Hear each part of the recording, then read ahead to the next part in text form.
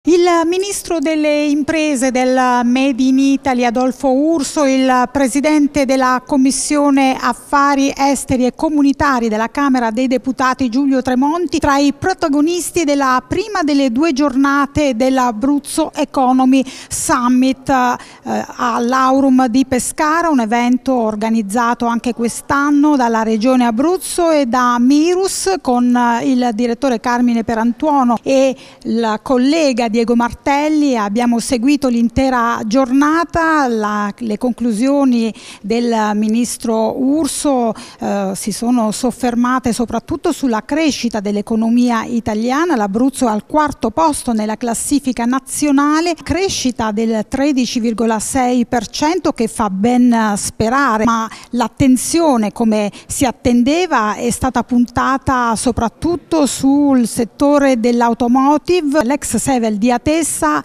eh, la cassa integrazione fino al 31 ottobre, una notizia che preoccupa fortemente eh, il mondo economico, politico e produttivo abruzzese e il Ministro ha fornito rassicurazioni ma su questo abbiamo ascoltato anche il Presidente Tremonti. Le decisioni che saranno assunte nei prossimi mesi dalla nuova Commissione indirizzeranno in maniera decisiva il mercato dell'auto. L'Italia sta svolgendo un ruolo da protagonista protagonista, così come è avvenuto su tutti i principali tavoli, nella regolamentazione europea, per renderla sostenibile e prosegue unitamente al Presidente della Regione Marsiglio e con le partecipazioni delle organizzazioni sindacali il confronto Costellantis col nostro produttore nazionale. Atessa è da sempre un'eccellenza anche tra gli stabilimenti italiani. L'impresa ne ha in più occasioni confermato la centralità, lo ha fatto nel confronto col Presidente della Regione, lo ha fatto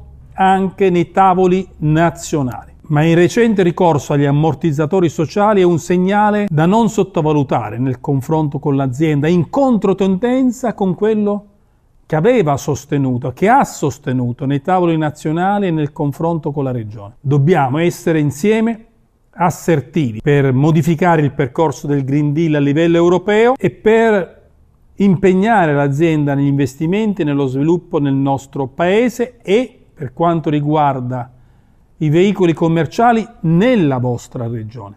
Analogo impegno il Ministero lo sta assicurando sugli altri tavoli di crisi che riguardano la regione. Denso della filiera automotive, il Foundry sui semiconduttori e VIBAC per la produzione di nasse e prodotti adesivi. Siamo impegnati perché vi siano sempre soluzioni positive. La crisi dell'automotive si può invertire? La Germania sul diesel si è suicidata, prima con i trucchi, adesso chiudendo fabbriche. Eh, sono scelte che non puoi fare eh, in base alla ideologia, devi considerare anche tante cose, il lavoro, gli investimenti, eh, l'economia dell'auto è fondamentale.